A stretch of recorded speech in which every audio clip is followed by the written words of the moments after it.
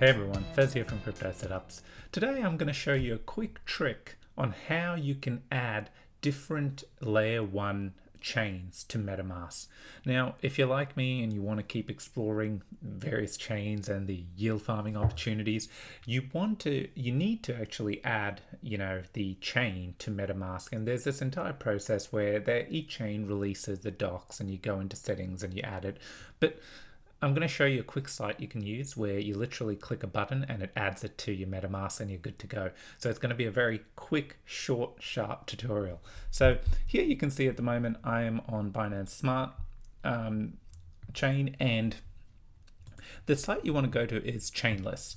Now, once on Chainlist, all you need to do is connect your wallet there you go, connected. And you can already see it has a ton of networks over here.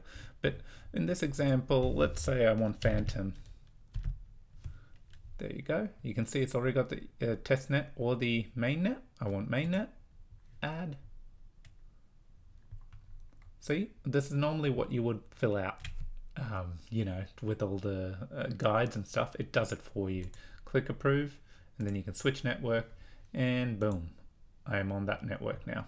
So just like that, you can uh, find Moonbeam and whatever else is compatible with MetaMask, the test nets, or as long as those chains have taken the time to update to this to this site, you can go and add it into um, MetaMask like this. So I hope this has helped. I know it's made my life a ton easier for when I want to add things to wallets or set up on different computers, etc. I just default to this site and add all my chains in.